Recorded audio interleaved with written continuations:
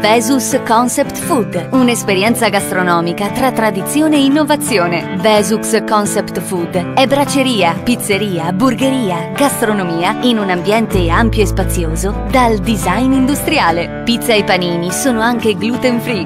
Vesux Concept Food è anche lounge bar con il banco salumi dove gustare ricchi taglieri o semplicemente un aperitivo o un cocktail. Ampia la carta dei vini e la selezione di birre. Vesux Concept Food, Casoria.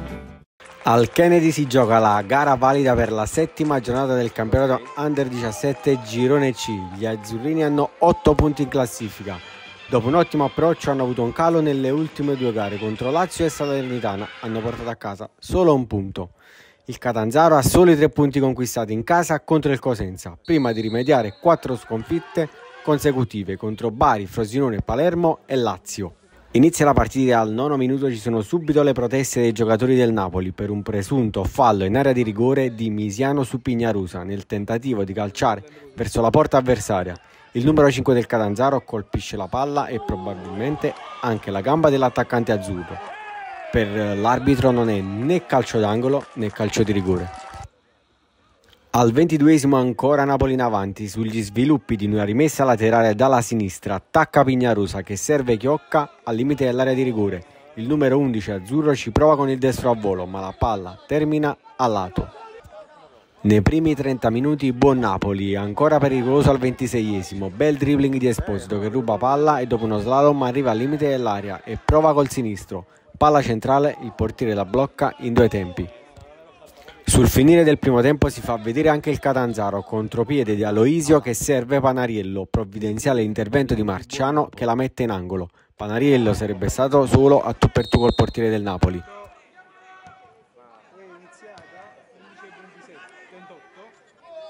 Nella ripresa non cambia il canovaccio, sempre Napoli in avanti al 51esimo, occasione enorme, contropiede condotto da Favicchio, arriva tu per tu col portiere e la scaglia altissima.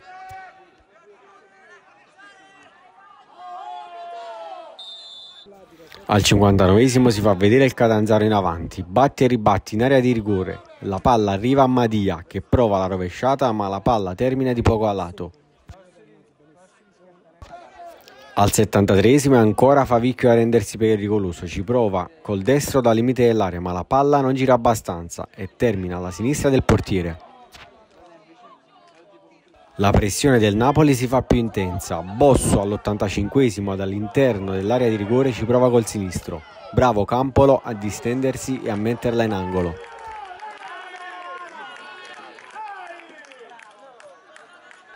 A due minuti dal novantesimo, punizione dal limite dell'area di Favicchio. Il portiere non trattiene, ci arriva sulla ribattuta Fabozzi che non deve fare altro che spingerla in rete. Azzurri in vantaggio, 1-0.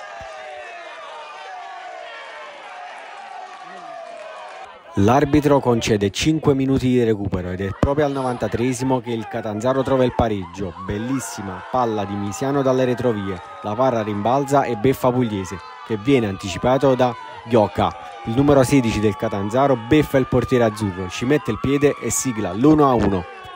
All'ultimo secondo il Napoli si riversa tutto in avanti, colpo di testa di Capozzoli su una punizione da 40 metri battuta da Prisco. La palla termina altra sopra la traversa. Continua il periodo no del Napoli che fa solo un punto in casa contro il Catanzaro, che invece ritorna a fare punti dopo svariate sconfitte consecutive.